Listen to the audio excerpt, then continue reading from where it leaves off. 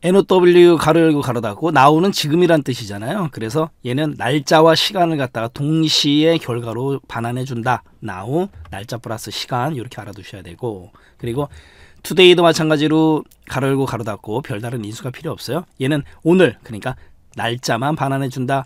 그래서 now하고 today하고 날짜 시간 날짜인데요. 중요한 건 현재 컴퓨터 시스템의 날짜 시간 날짜다라는 거 조심하시고 그 다음에 데이트 같은 경우는 0, 월, 1, 이렇게 연, 월, 일을 갖다가 콤마로 구분해 줘야 돼요. 날짜 데이터를 반환합니다.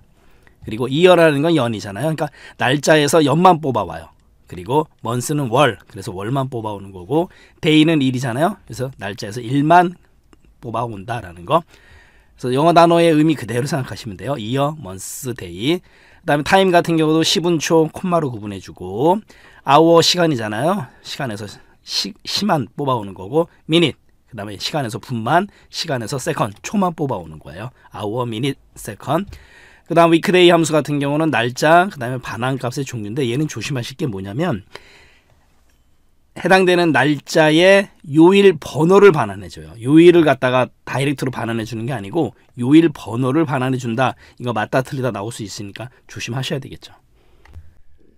days 같은 경우는 종료 날짜, 시작 날짜 요렇게 이제 구성이 되는데요. days는 두 날짜 사이에 일수를 반환한다. 일수 그러니까 일 day 수니까 days 이렇게 머릿속에 넣어두시면 돼요. 종료 날짜, 시작 날짜 두 날짜 사이에 일수를 계산하는 거 days. 자 이번에는 EDATE인데요. EDATE 같은 경우는 이제 시작 날짜가 나오고 전후 개월 수가 나오는데 여기서 얘기하는 그 이 이는요 무슨 의미가 있냐면 이랩스란 뜻이에요. 이랩스. E L A P S E 이랩스 그러면 경과하다라는 뜻이거든요. 뭐 이랩스 또는 이랩스 경과한 날짜를 뜻하는 거예요. 그래서 시작 날짜를 기준으로 해가지고 전후 계열 수를 반환해 줍니다. 이번에는 이제 EOMONTH인데 여기서 EO는 또 달라요. 여기서 EO는요 end of입니다. end of 달라요. end of end of가 무슨 뜻이에요? 끝이란 뜻이잖아요. end of 그래서 month는요 월이잖아요. 그러니까 월의 끝 이거 조심하셔야 돼요. 시험 문제에서 잘 나옵니다.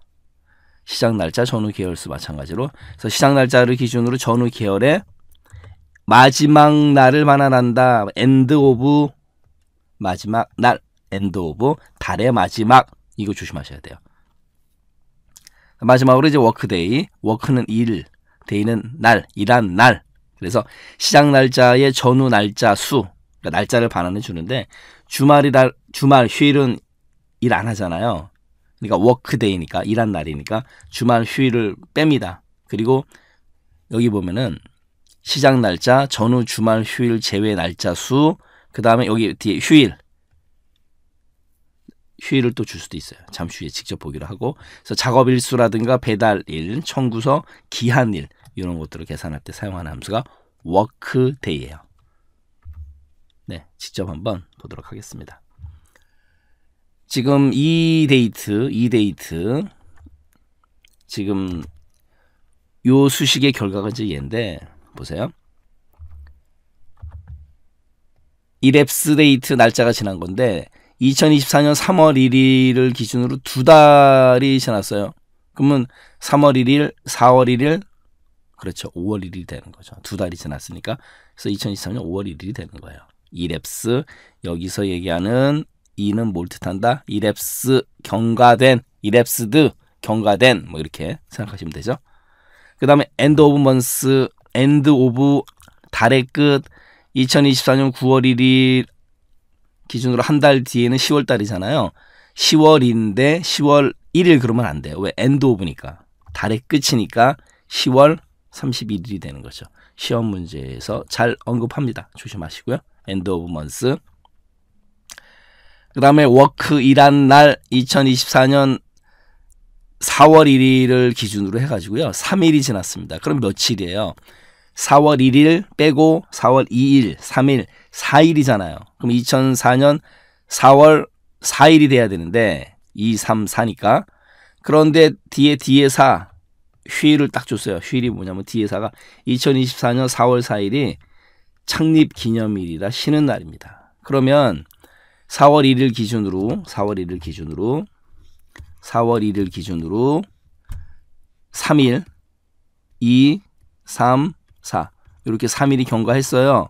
3일이 경과했습니다. 그런데 4일이 뭐 하는 날이에요?